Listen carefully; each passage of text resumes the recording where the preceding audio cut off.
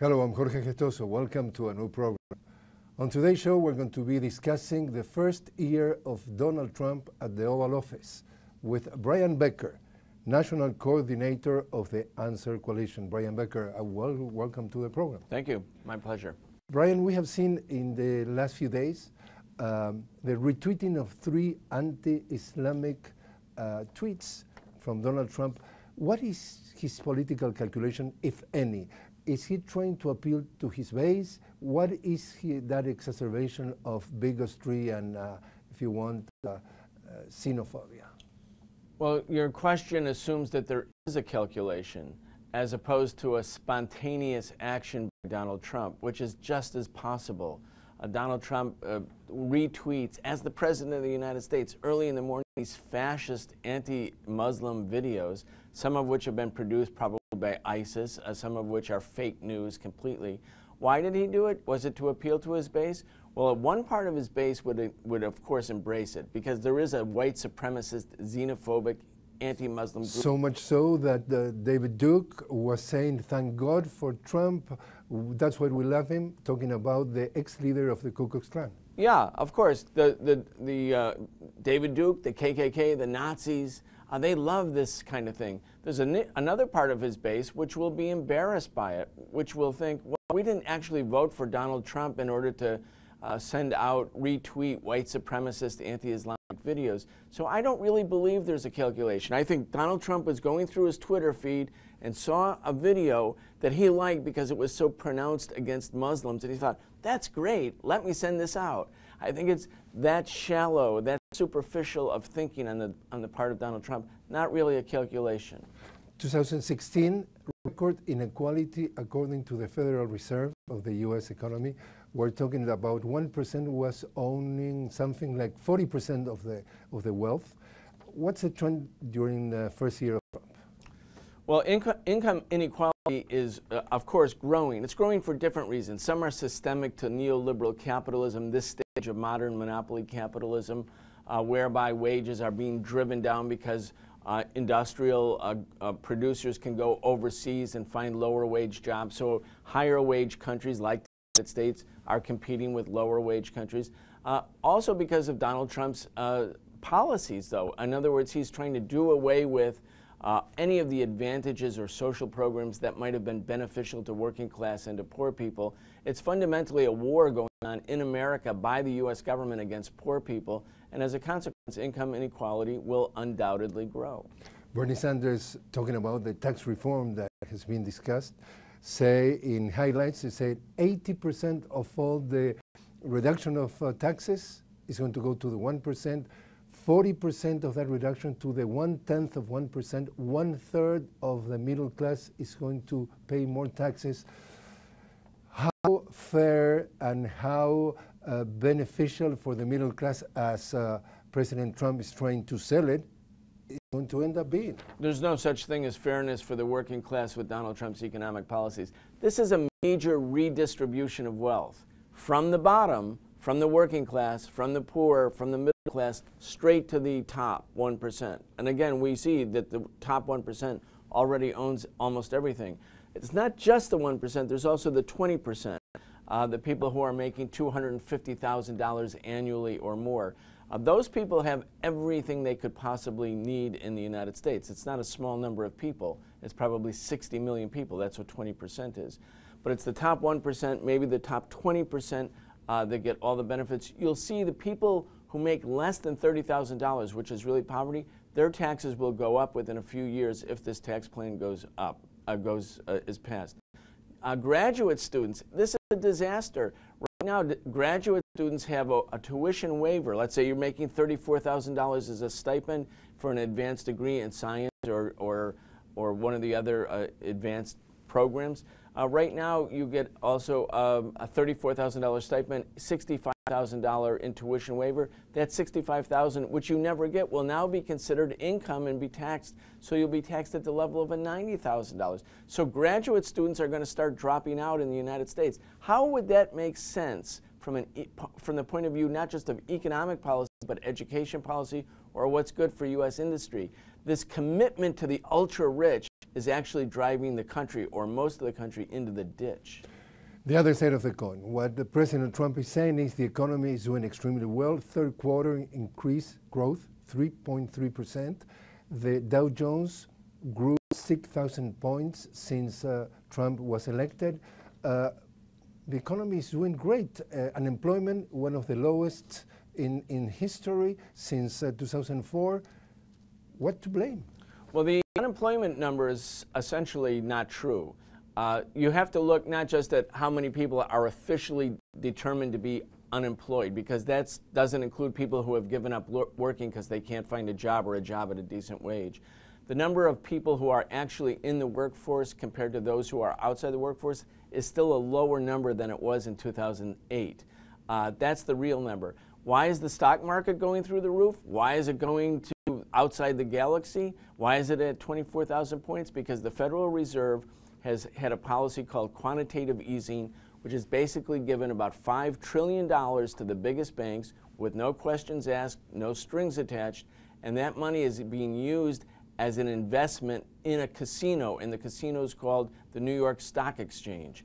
And so they have free money and they can drive up stock prices, but this is ultimately a bubble. It doesn't reflect the actual status of the American economy, and like all bubbles, they burst. We're talking about record inequality in terms of uh, distribution of wealth.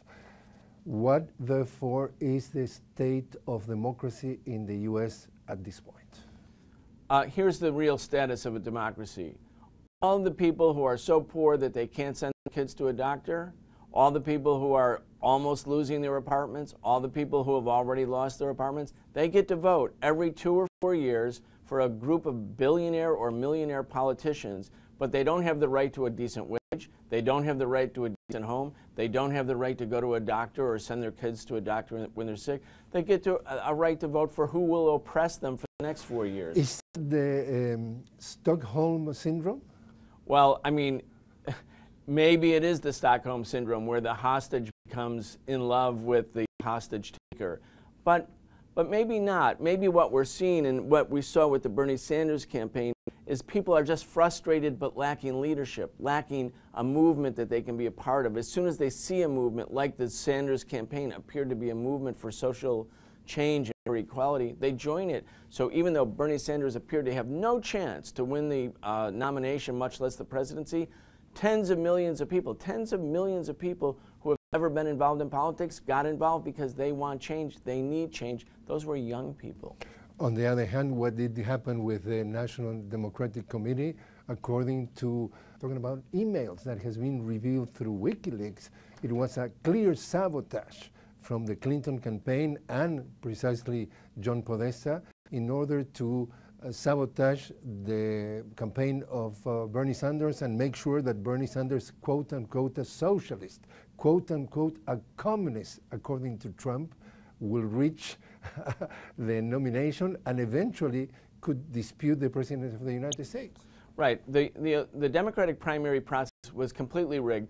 Not only do we know this from the emails, there have been subsequent revelations whereby we have learned that the Democratic National Committee was bankrupt in 2015, bankrupt, and the Hillary Clinton campaign secretly arranged for uh, a, a, a, system whereby the Clinton campaign would bail out, finance the Democratic National Take Committee. over the control. Yes, and if and of course, if you're paying the bills, if you're the financier of you're the, the Democratic boss. National Committee, you're the boss. And so we knew before the election started. See, that was the problem Hillary Clinton had. She thought the election belongs to me. The nomination belongs to me. I don't need to, shouldn't have any competitors. It was like a coronation of a monarch rather than somebody who actually had to prove themselves. And so the campaign was so ridiculous. She never went to Wisconsin. She went to Michigan once. She, did, she ignored Pennsylvania. All of these battleground states, she just assumed those states belong to me. The nomination belongs to me. The election belongs to me. Guess what? It doesn't. You actually have to compete. So talking about the midterms election, we're talking about few weeks away from 2018. Uh, what is your forecast? Um, I don't have a crystal ball. I gave that up November 8th when I predicted that Donald Trump could never win the presidency of the United States. Uh, so wrong. So I don't have a prediction, but it's a rough road for the Democrats to uh, win control of the House of Representatives. Uh, they would need to pick up 24 seats. I don't think they can do that because gerrymandering is such in the United States, whereby congressional districts have been carved out by largely Republican governorships so that it's almost impossible to win. In 2016, 5 million more people voted for Democrats in the House of Representative races than Republicans, and yet the Republicans have this huge advantage in the Republic in the House of Representatives because of gerrymandering. In other words, American democracy is so rigged in so many different ways uh, that it's almost impossible, one, for working class people to participate, and even for the Democrats, when they win in aggregate numbers, they still lose, including the presidency. What about the Senate? The Senate is closer, of course. Um, it's possible that the balance will tip maybe by one vote. I don't think so. I think it'll still be in the hands of the Republicans. But even if it does, so what? Some of the Democrats who are competing with Republican um, uh, um, sort of vulnerable candidates, they're running like Republicans. In other words, in order to win against a Republican in a Republican stronghold, you sound like a Republican. If you pretend to be a conservative, are you a conservative? Well, of course you're a conservative. So I don't think even if the balance shifts in the Senate or the House, much will change. Let's not forget, in 2009, the Democrats had a popular president in the White House, the big majority in the House of Representatives, big majority in the Senate, 59 votes. They could do whatever they did, wanted to do, and they did, which was nothing. The only thing they passed was the Affordable Care Act, which was to privatize American health care, uh, give it all over to private insurance companies, to which the Republicans said, even though it was a Republican program, that's communism. I mean, that's the only thing that the Democrats did. What about uh, Donald Trump? Is he finishing his term? Is he, going, is he going to be impeached? Uh, hard to say. The Mueller investigation, you can see they're getting lots of what will be indictments of people around Donald Trump, not because of collusion, by the way. It's about everything else. It's called charge stacking. You give somebody 10 charges. Uh, they're looking at 50 years in prison. Then just get them to say something against somebody else. Uh, that's what's going on. It's not about, there's no proof of collusion, but there's going to be a lot of indictments. Could some of them touch Donald Trump and bring him down? Yes, possibly. The problem for the Republicans is Donald Trump is very popular among Republicans. And so if they impeach him, if they throw him out, do they not alienate their Republican base? Does that not sabotage their efforts in 2020? That's Donald Trump's big card right now. On the other hand, Donald Trump, oh, today I will say that he's, he's owning the Republican Party. He is the Republican Party. That's a big change. It's a big change. Well, you know, whoever is the president is in charge of the party. It's not like a really democratic process where the Central Committee or the National Committee determines policy. Whoever is the candidate or whoever is the, uh, the president, they run the party. And Donald Trump has support among the Republican base because he doesn't seem like a politician. He's defiant against the establishment. He's racist, so a lot of people like that. Uh, he looks like a reality TV show person. Oh, and he is. And, you know, people in America have learned to love reality TV, and now they have one uh, reality TV performer as president. So there, are some part of the American population say, oh, yeah, I recognize that. That's fun. I'm going to invite you, Brian, to make a little break and we keep talking. We're talking with Brian Becker. Brian Becker is a national coordinator of the Answer Coalition. We'll be right back.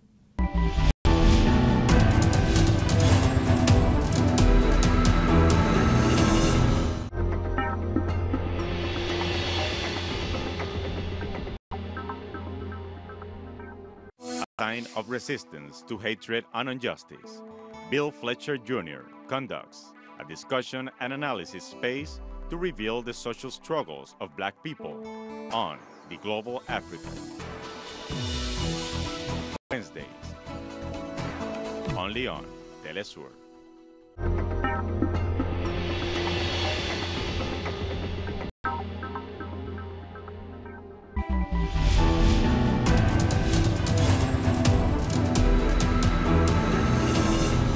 We continue to talk about uh, Donald Trump's presidency with Brian Becker. He is a national coordinator of the Answer Coalition.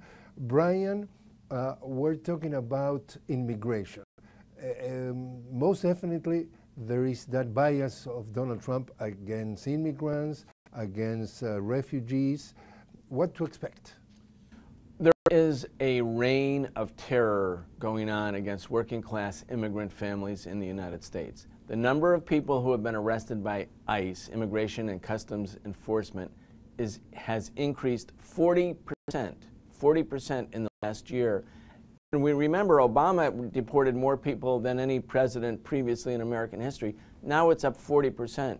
You go to some areas like Georgia, like Atlanta, it's increased 80%.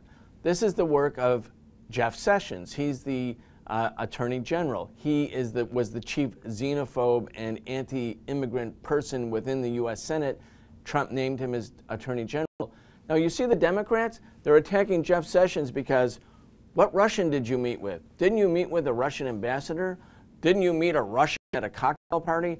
Meanwhile, there's a reign of terror against Latinos and against immigrant families in America, and it's being conducted by Jeff Sessions. There's no big controversy by the Democrats in the Senate. So what's happening? The immigrant rights groups, which are very powerful in the United States, have been set back. They've been set back because the reign of terror is so great, people actually don't want to go out of their houses. If they get stopped at a stop sign, or if they're out at a playground and ICE agents come, uh, parents are ripped away from their children. Uh, they could be deported. They could be imprisoned for a long time. I mean, it is a terrible, racist, anti-immigrant wave of terror that's going on in America. You were mentioning Latinos, and most of precisely the people who are being deported or arrested are from Latin America.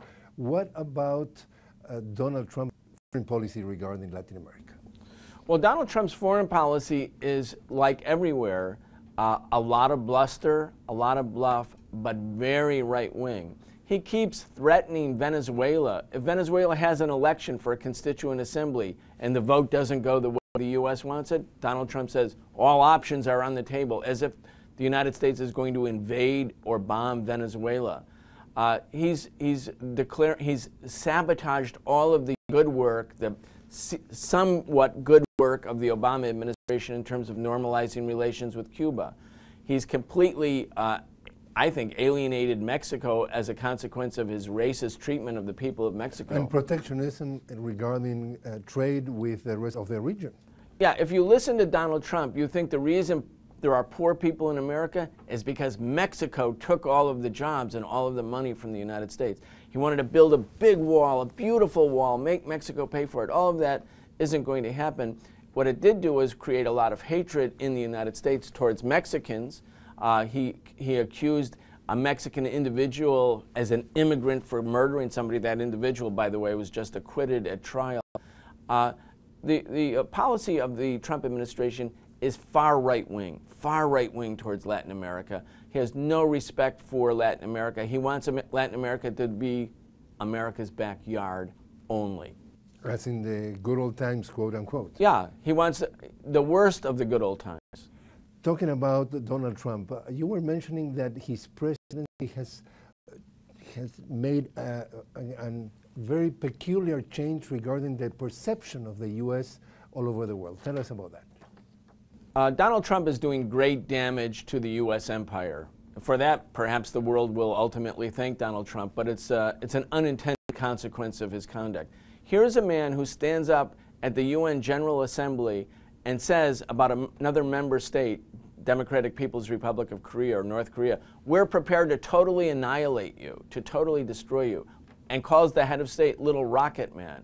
He says we're going to have fire and fury, a war like one that has never been seen before. Uh, he's uh, ridiculing all of the U.S. allies. He's, as you mentioned in the beginning, sending out racist, vile, racist, anti-Muslim tweets. And when Theresa May, the principal ally of the United States in Britain, says, no, don't do that. You are wrong. You are wrong to do that. Donald Trump tweets against her. He's such a narcissist. He's, he's so all about Donald Trump that as a consequence, the rest of the world now thinks the United States government, the largest economy in the world, the largest military in the world, the most powerful country in the world, has a president who is a complete laughingstock. And of course, that can't but help diminish America's stature in world politics.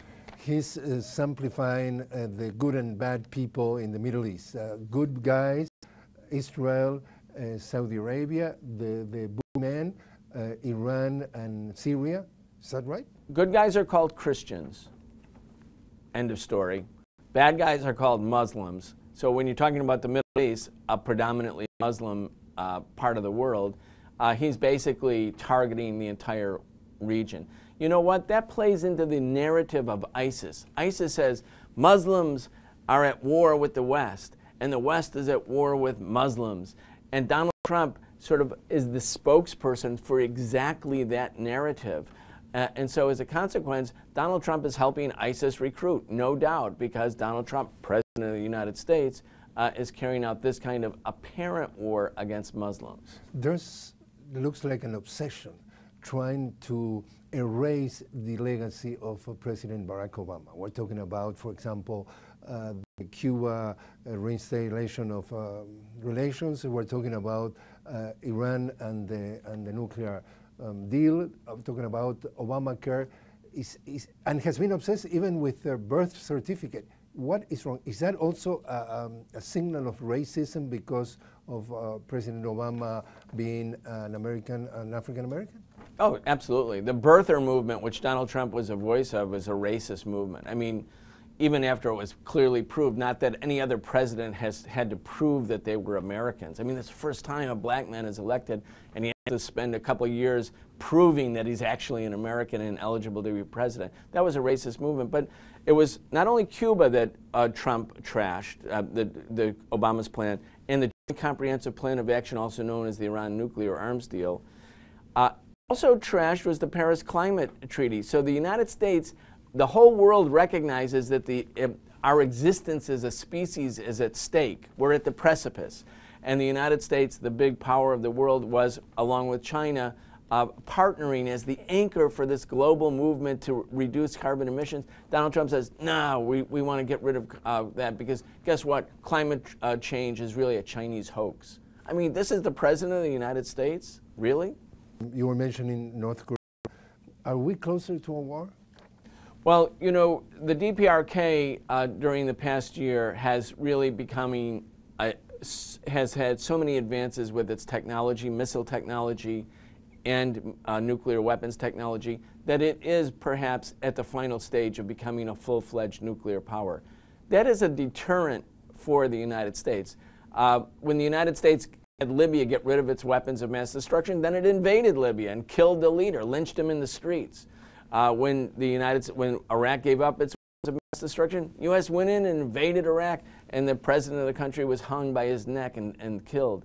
Uh, North Korea is not going down that road. So it's a very high stakes game. Most people who have a brain in the Pentagon or in Washington would say a war with North Korea is absolute madness. The U.S. didn't win the war against North Korea in 1950 to 53.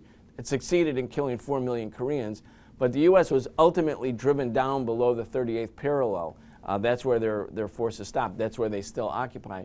So I think there's a lot of uh, reasons why there might not be a war. Why would there be a war? There are, there's a section of the American political establishment, we don't know if Donald Trump is amongst them, who believe that war with North Korea is inevitable and it's better to get it over with sooner than later because North Korea will only get stronger. And as Lindsey Graham, the senator who's a big buddy of Donald Trump and a golfing partner, said, and by the way, the war will be over there. The bleeding will be done by Koreans and Japanese and Chinese. We won't, it won't be us. So there is a lobby for war, but I hope, I think there will be saner brains in Washington will say that's madness. In the recent days, the New York Times was publishing an article saying that um, John Kelly, the chief of staff of the White House, was planning the replacement of Rex Tillerson as uh, the State Department um, representative and possibly Mike Pompeo. Pompeo, um, the director of the CIA, could replace him. Uh, officially, the word of Donald Trump was Rex is here, Rex is here. Uh, they're thinking that would be a replacement at the end of the year, eventually early next year. What is being the principle about that sort of dispute of uh, Tillerson and Donald Trump because also uh, was a word that, that, Tillerson was calling Trump a moron. Could be, uh, you know, uh, Rex Tillerson didn't completely deny that he called Donald Trump a moron, and Donald Trump, as a narcissist, which is what he is, that would be the worst thing. But I think it's because Rex Tillerson is not an ideologue. He's not a right wing ideologue. He's a conservative capitalist. He was the CEO of ExxonMobil. But, you know, he wanted to negotiate with the DPRK, with North Korea. His president cut him off at the knees, chopped him off at the knees, and said, Rex, ah, you're wasting your time. Uh, we'll take care of it. You can't talk to little rocket man. I mean, here's the President of the United States humiliating the Secretary of State. Obviously, Tillerson can't be that happy about that.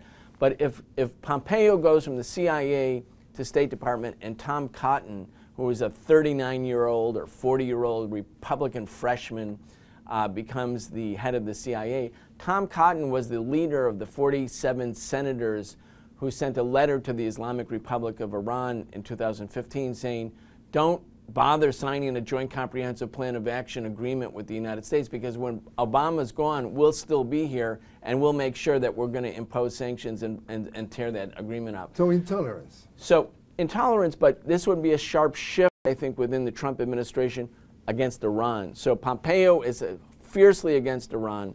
Mattis, uh, Kelly himself, uh, all of these people are significantly against Iran. But Tom Cotton, his, the only reason somebody would like Tom Cotton, who has no experience and he's a complete, I don't know, buffoon, the only reason Donald Trump would make him the head of the CIA would because he shares his anti-Iran uh, ferocious uh, focus. So finally, Brian, what do you think that we have to be paying attention in the rest of uh, Trump's presidency? Uh, I think the, the redistribution of wealth in America, if Trump's tax plan goes forward, it's going to be terrible for working class and poor people in the United States. He's uh, lifting all of the environmental protections that stop pollution. A lot of people die from pollution. It's not just eventual climate change. People are dying right now because of environmental things there is a, a serious danger of war, I think, of confrontation because Trump is so unpredictably reckless. Uh, maybe he will restrained. And finally, will Trump even make it? Will he make four years? Uh, will the indictments uh, finally bring down Trump? A big part of the American political establishment recognizes that Donald Trump is, in fact, a disaster, not just for people, but for their system and for their empire. And so there's a lot of them who want to bring him down uh, including from the elites within um, uh, the United States establishment. Brian Becker, thanks very much for joining My us. pleasure. Thank you.